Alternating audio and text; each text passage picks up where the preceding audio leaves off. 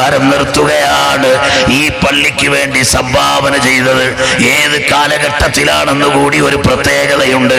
ഇന്ന് സാമ്പത്തിക രംഗം വലിയ വിഷമത്തിലാണ്. നോട്ട് നിരോധനം മുതൽ ഗൾഫിലെ പ്രവാസികളുടെ ഇരുട്ടടിയേറ്റ സാമ്പത്തികമായ വിഷമം വരെ നിലനിൽക്കുന്ന കാലഘട്ടം. ഈ സമയത്ത് ഇത്രയും വലിയ സമ്പത്ത് ഈ മഹല്ലിലെ നിസ്വാർത്ഥരായ നിവാസികൾക്ക് എങ്ങനെ ചെലവഴിക്കാൻ കഴിഞ്ഞു? അത് നമ്മൾ ചിന്തിക്കണം. അള്ളാഹു ഖുർആനിൽ പറഞ്ഞു മോമിനിയങ്ങളുടെ ലക്ഷണം പറഞ്ഞപ്പോ. സന്തോഷത്തിലും ബുദ്ധിമുട്ടിലും ചെലവഴിക്കുന്നവരാണ് മോമിനികൾ അള്ളാഹുവിന്റെ ഭവനം എന്ന് പറഞ്ഞപ്പോ നമ്മുടെ സാമ്പത്തിക ബുദ്ധിമുട്ടൊന്നും ഇതിനകത്ത് കാണുന്നില്ല. നമ്മൾ അങ്ങനെ ഒന്നും വിഷമിച്ച് നിൽക്കണ്ട. ദുനിയാവിൽ തവക്കുലാക്കി നിൽക്കണം. അള്ളാഹു സുബാനുഭവത്താലാനെ തവക്കുലാക്കി അല്ലാതെ നമുക്ക് രക്ഷപ്പെടാൻ ഒരു നിവൃത്തിയില്ല. വളരെ പാവപ്പെട്ട ആളുകൾ ഈ കൊല്ലത്ത് തന്നെ ഒരു ദിവസം ഒരു മുഅദ്ദിൻ മാമ അദ്ദേഹം ഇങ്ങനെ നടന്നു വരുമ്പോ ഒരാൾ വിളിച്ചിട്ട് ചോദിച്ചു മോദി മാമ നിങ്ങൾ എവിടാ സ്ഥലം? അതിങ്ങനെ പള്ളിമുക്കാണ്. എവിടെ ജോലി? ജോലി സ്ഥലം എല്ലാം പറഞ്ഞു. എല്ലാം പറഞ്ഞു കഴിഞ്ഞതിന് ശേഷം അദ്ദേഹത്തിന് പൊരുത്തുണ്ടാവും അതുകൊണ്ട് ഞാൻ പറയാണ് അദ്ദേഹം നമുക്ക് നല്ലപോലെ അറിയാവുന്ന ആളാണ്. എന്തായാലും ടൗണിലെ ഒരു പള്ളിയിലാണ്. അങ്ങനെയുള്ള ഒരു അവസ്ഥയിൽ അദ്ദേഹത്തോട് ചോദിച്ചു നിങ്ങളുടെ പെൺമക്കൾ എങ്ങനെ കല്യാണമൊക്കെ കഴിഞ്ഞോ? കല്യാണം ഒന്ന് ഒന്നോ രണ്ടോ പേരുടെ കഴിഞ്ഞു. അടുത്തൊരു പെൺകുട്ടിയുടെ കല്യാണമൊക്കെ ഉറപ്പിച്ചു വെച്ചു മോനെ. പക്ഷേ സാമ്പത്തികമായ വിഷമം കൊണ്ട് ഇങ്ങനെ നീണ്ടു നീണ്ടു പോവാണ്. അപ്പൊ ഇവർ പറഞ്ഞു ഞങ്ങൾ ഇങ്ങനെ ഒരാളെ തെരഞ്ഞെടുന്നതാണ് അതായത് പാവപ്പെട്ട ഒരു മോദിന്റെ മകളുടെ നിക്കാഹിന് ഞാൻ പൂർണ ചെലവ് വഹിക്കാം എന്ന് കരുതി ഒരാൾ ഒരു കച്ചവടത്തിൽ ഏർപ്പെട്ടു. അയാൾക്ക് കച്ചവടം ലാഭകരമായി നടന്നു. അയാൾ ഹലാലായ സ്വത്താണെന്ന് ഞങ്ങൾ നിങ്ങൾക്ക് പരിചയമുള്ള രണ്ടുപേരാണല്ലോ ഞങ്ങൾ സാക്ഷ്യം വഹിക്കുന്നു. അതിൽ നിന്ന് അയാൾ നിങ്ങളുടെ കല്യാണ ചെലവ് മൊത്തം ചെലവഴിച്ച് തരാമെന്ന് പറഞ്ഞിട്ടുണ്ട്. അപ്പൊ ഇദ്ദേഹത്തിന്റെ കണ്ണു നിറഞ്ഞു. അങ്ങനെ കല്യാണം റാഹത്തായി പെട്ടെന്ന് ഒരുക്കി നമ്മുടെ നാട്ടിൽ കല്യാണം നടത്തണമെങ്കിൽ വലിയ മുസീബത്താണല്ലോ. സുഹാനുള്ള ഈ കൊല്ലം ജില്ല കഴിഞ്ഞാൽ ആലപ്പുഴ എത്തിയാൽ മറ്റേ സാധനം ഇല്ല ഏത്? പോക്കറ്റ് മണി എന്ന് പറയുന്ന മുസീബത്ത്. ആലപ്പുഴ മുതലത്തെ വടക്കോട്ട് കാസർഗോഡ് വരെയും ഇല്ല. തിരുവനന്തപുരത്ത് നിന്ന് അങ്ങോട്ട് മാറി കന്യാകുമാരി പോയാലും ഇല്ല. തിരുവനന്തപുരം കൊല്ലം. അതിൽ വളരെ മിടുക്കന്മാരാ. പിന്നെ പത്തനംതിട്ടയൊക്കെ കുറേശ്ശെ ഉണ്ടാവുമായിരിക്കും. ഏതായിരുന്നാലും അങ്ങനെ ഈ പറഞ്ഞ പോക്കറ്റ് മണി സർവ മുസീബത്തും ഉണ്ട്. ഏതായിരുന്നാലും അതെല്ലാ ചെലവും കൊടുത്തിട്ട് ഈ കല്യാണം നടത്തുകയാണ്. കല്യാണത്തിന്റെ രണ്ട് ദിവസം മുമ്പ് ഇദ്ദേഹം ചോദിച്ചു ഇവരോട് വിളിച്ചിട്ട് ഞങ്ങൾ പാവപ്പെട്ടവരാണ് ഒരു മോദി മാമാടെ മോടെ കല്യാണമല്ലേ എന്ന് വിചാരിച്ച് കുറെ ആളുകൾ സഹായമൊക്കെ തരും. അത് മേടിക്കണോ? വാങ്ങിയിട്ട് നിങ്ങൾക്ക് തരണോ? എന്താ ചെയ്യേണ്ടത്? വാങ്ങാതിരിക്കണോ? അവർ പറഞ്ഞു വാങ്ങിക്കോളൂ. അടുത്തൊരു മകൾ നിങ്ങൾക്കില്ലേ ആ കല്യാണത്തിന് നിങ്ങൾ ഉപയോഗിച്ചോളൂ. ഈ കല്യാണത്തിന്റെ ചെലവൊക്കെ ഞങ്ങൾ തരും. അങ്ങനെ കല്യാണം റാഹത്തായിട്ട് നടന്നു. നിങ്ങൾ ആലോചിക്കണം ഒരു പാവപ്പെട്ടവന്റെ കല്യാണം നടന്നു. ഈ കാലഘട്ടത്തിലെ സംഭവം പറഞ്ഞേ എന്നിട്ട് ഈ മനുഷ്യൻ ഇങ്ങനെ നടന്നു വന്ന് കുറച്ചേരെ സ്വസ്ഥമായിട്ട് ഇങ്ങനെ ഇരിക്കുമ്പോൾ അള്ളാഹുവിന്റെ ഒരു പരീക്ഷണം വന്നു. അദ്ദേഹത്തിന്റെ പെങ്ങളുടെ വീട് ജപ്തിയായി പോയി.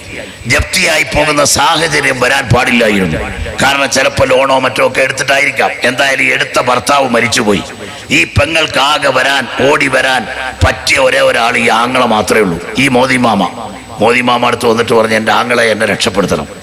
മോദി മാമ ചിന്തിച്ചു ഇവൾക്ക് വേറെ ആരുടെ പോകാൻ പറ്റില്ല. അതുകൊണ്ട് മോദി മാമ എന്ത് ചെയ്തു? ഉടനെ ആ വീട് പിന്നെ മക്കളെയും മരുമക്കളെയൊക്കെ വിളിച്ചിട്ട് ചോദിച്ചു ഈ വീടൊന്ന് കച്ചവടം ആക്കിക്കോട്ടെ കച്ചവടം ആക്കിയിട്ട് ഞാൻ ഈ പെങ്ങളെ സഹായിച്ചോട്ടെ? എന്ന് ചോദിച്ചപ്പോൾ ഓ റെഡി എന്ന് പറഞ്ഞു അവർ. ചുരുക്കി പറഞ്ഞാൽ വീട് കച്ചവടം ചെയ്തിട്ട് ഈ പെങ്ങളെ സഹായിച്ചു. പെങ്ങളെ സഹായിച്ച് അതിന്റെ ജപ്തി നടപടികളിൽ നിന്നൊക്കെ മോചിതമാക്കി കുറച്ച് പൈസ ബാലൻസ് വന്നു. അപ്പൊ ഈ വീട് വാങ്ങിയ ആളിനോട് ചെന്നിട്ട് പറഞ്ഞു ഞങ്ങൾക്കൊരു വീട് വാടകയ്ക്ക് ഒത്തു കിട്ടുന്നത് വരെ ഞങ്ങൾ ഇവിടെ ഒന്ന് താമസിച്ചോട്ടെ. അപ്പൊ അയാൾ പറഞ്ഞു ഈ വീട് ഞാൻ വാങ്ങിയത് കച്ചവടം ചെയ്യാനാണ്. അതുകൊണ്ട് ആ കച്ചവടമാകുന്നവരെ നിങ്ങൾ താമസിച്ചോ. നിങ്ങൾ വാടകയും തരണ്ടെന്ന് പറഞ്ഞു. ഫ്രീ ആയിട്ട് താമസിച്ചോളാൻ പറഞ്ഞു. സുബഹാനല്ല ഈ വീട് വിറ്റ വിവരം അയലത്തേർ അറിയുന്നില്ല. ആ തരത്തിൽ അള്ളാഹുത്തേർ അവരെ അവിടെ തന്നെ താമസിപ്പിച്ചു. കുറച്ച് കഴിഞ്ഞപ്പോ അദ്ദേഹത്തിന്റെ ഒരു മകനുണ്ട് ഒരു വിളവനാണ്. വിളവൻ എന്ന് പറഞ്ഞ കുഴപ്പക്കാരനല്ല അപ്പൊ ആ മകൻ എന്ത് ചെയ്തു? കുറച്ച് പൈസ ഒക്കെ കയ്യിൽ കിട്ടിയപ്പോ കുറച്ച് സുഹൃത്തുക്കളുടെ കയ്യിൽ കൂടെ കുറച്ച് പൈസ കടമൊക്കെ മേടിച്ചിട്ട് വാപ്പാനെടുത്ത് ചെയ്തിട്ട് പറഞ്ഞു വാപ്പ ഒരു കാര്യം ചെയ്യണം. ഇനി ബാക്കി കുറച്ച് പൈസ ഉണ്ടല്ലോ. ആ പൈസയും ഈ പൈസ എല്ലാം കൂടെ കൊണ്ടുവന്ന് ഇദ്ദേഹത്തിന്റെ അടുത്ത് എന്ന് പറ. ഇപ്പൊ നിലവാരത്തിലുള്ള വില വിലക്ക് ഇത് നമുക്ക് വിറ്റാൽ ഒരു ആറ് മാസം കൊണ്ട് ബാക്കി പൈസ ഒപ്പിച്ചു കൊടുക്കാമെന്ന് പറഞ്ഞു. അല്ലെ ഒരു വർഷം? ഇത് ചെന്ന് പറഞ്ഞോണ്ടേ ഇദ്ദേഹം എന്ത് പറഞ്ഞു? നിങ്ങൾ ഇപ്പോഴത്തെ വില നിലവാരവും തരണ്ട. അന്ന് മേടിച്ച പൈസ ഇഞ്ഞ് തന്നാൽ ഞാനിതങ്ങ് തരാം. അങ്ങനെ ആറു മാസത്തെ കാലാവധിയും കൊടുത്തു. മേടിച്ച പൈസ തിരിച്ചു കൊടുത്തപ്പോൾ ഈ വീടും തിരിച്ചു നൽകി. സുബാനല്ലാ വീട് വിറ്റ കഥയും തിരിച്ചു വന്ന കഥയും ഏറ്റവും അടുത്തവർക്ക് മാത്രമേ അറിയൂ. അങ്ങനെ അള്ളാഹുത്താരെ സംരക്ഷിച്ചു. കുറച്ച് ദിവസം കഴിഞ്ഞ് ഇദ്ദേഹം ഇങ്ങനെ പള്ളിമുക്ക് ജംഗ്ഷനിലേക്ക് ഇറങ്ങുമ്പോൾ അവിടെ ഒരു ഹോട്ടൽ മുതലാളി ഇങ്ങനെ ഇരുന്ന് ചിന്തിക്കുക ഒരു പാവപ്പെട്ട ആളിനെ ഞാനൊന്ന് ഉമ്രയ്ക്ക് വിട്ടാലോ? കണ്ണോർ നോക്കുമ്പോൾ ഈ മോദിമാമായ കണ്ടത്? കണ്ട ഉടനെ ഈ മോദി ബാബ വെച്ച് നിങ്ങൾ മക്കത്ത് ഉംറക്ക് പോയിട്ടുണ്ടോ? ഈ മോദി ബാബ അങ്ങ് വീഴാൻ പോവാ. കണ്ണുനീരിങ്ങനെ ഒലിച്ച് സുബഹാനുള്ള മക്കയോ ഉംറയോ സ്വപ്നം പോലും കാണാൻ പറ്റാത്ത സാമ്പത്തിക പിന്നെ സ്ഥിതിയിലെ അപര്യാപ്തതയുള്ള ആൾ. അദ്ദേഹത്തിനോട് പറഞ്ഞു നിങ്ങൾ ഉംറക്ക് പോകണം നമ്മുടെ ഖാദിസിയിൽ വന്നിട്ട് പറഞ്ഞു റമദാനിലെ ഉമ്രയ്ക്ക് വിടണം. ഞാനപ്പോൾ അയാളോട് പറഞ്ഞു ഈ മൊലാളിയോട് റമദാനിലെ ഉമ്രയ്ക്ക് ഇച്ചിരി ചാർജ് കൂടുതൽ അവിടെ ബിൽഡിങ്ങിനൊക്കെ വാടക കൂടുതലായതുകൊണ്ട് അതുകൊണ്ട് നിങ്ങൾ കുറച്ച് പൈസയും കൂടെ ഒന്ന് സംഘടിപ്പിച്ചു കൊടുത്താൽ അദ്ദേഹത്തിന് ഹജ്ജിന് തന്നെ പോകാൻ കഴിയും. ഞാനും കുറച്ച് ഹെൽപ്പ് ചെയ്യാമെന്ന് പറഞ്ഞു. പക്ഷെ ഞാൻ കുറച്ച് ഹെൽപ്പ് ചെയ്യാന്ന് പറഞ്ഞപ്പോൾ എന്റെ മനസ്സിലൊരു നീയത്തുണ്ട് ഇതേ ഒരു പള്ളിയിൽ മോദിനാണല്ലോ. എന്തായാലും യാത്ര പറയുമ്പോൾ കുറച്ച് സാമ്പത്തിക സഹായമൊക്കെ കിട്ടും. അപ്പൊ നമ്മളായിട്ടൊന്നും ചെയ്യേണ്ടി വരില്ല. കാരണം അങ്ങനെ വലുതായിട്ട് ചെയ്യാനുള്ള സാമ്പത്തികമൊന്നും നമുക്കില്ലല്ലോ. അപ്പൊ പൊതു സ്വത്തിൽ നിന്ന് കൊടുക്കുന്നതിന് അതിന്റെതായ ഒരു ചിട്ടയുണ്ടല്ലോ. എന്ന നിലയ്ക്ക് ഞാൻ യഥാർത്ഥത്തിൽ അങ്ങനെയൊക്കെ കണ്ടുകൊണ്ടാണ് അയാളോട് പറഞ്ഞത്. അപ്പൊ ഈ മോലാളി പറഞ്ഞു ഞാൻ പരമാവധി സഹായിക്കാം. ബാക്കി ഉസ്താദ് കൂടെ ഹെൽപ്പ് ചെയ്താൽ മതി. അദ്ദേഹത്തെ ഹജ്ജിന് തന്നെ കൊണ്ടുപോകാൻ പറഞ്ഞു. അലഹമില്ല അദ്ദേഹം ഹജ്ജിന് വന്നു. എന്റെ കണക്കൂട്ടിൽ ഇച്ചിരി തെറ്റിയിട്ടുണ്ട്. കാരണം ഇദ്ദേഹം നിൽക്കുന്ന പള്ളി എന്ന് പറഞ്ഞാൽ ഗ്രാമത്തിലുള്ള പള്ളിയല്ല.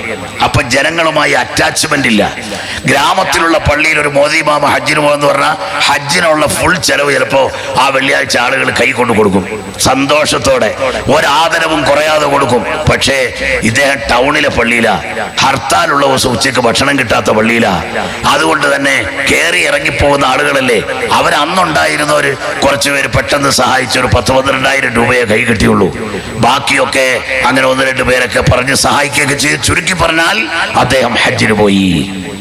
കുറച്ചാൾ കഴിയുമ്പോൾ അദ്ദേഹത്തിന്റെ ഈ മകൻ കുടുംബസമേതം ഉമ്രയ്ക്ക് പോകുന്ന ലിസ്റ്റിൽ നമ്മുടെ മുറ്റത്ത് ഇരിക്കുന്നു എടാ നീ എങ്ങനെ ഉമ്രയ്ക്ക് പോകുന്നത് അതൊരാൾ കൊണ്ടുപോകാന്ന് പറഞ്ഞു. അങ്ങനെ കൊണ്ടുപോകാ ഉസ്താദ്. ഉസ്താദ് ഒന്നും പറയല്ല? നേരത്തെ പറയാൻ വിട്ടുപോയി. നോക്ക് നിങ്ങൾ അള്ളാഹു തേര ഉദ്ദേശിച്ചാൽ എത്ര പാവപ്പെട്ടവനെയും കരകയറ്റാൻ അവന് കഴിയുമല്ലോ? ബഹുമാനപ്പെട്ട